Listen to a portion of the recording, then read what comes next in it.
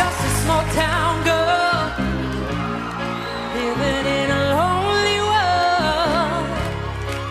She took the midnight train going anywhere.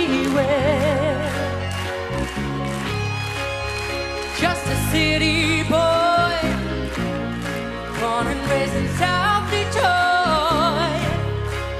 He took the midnight train.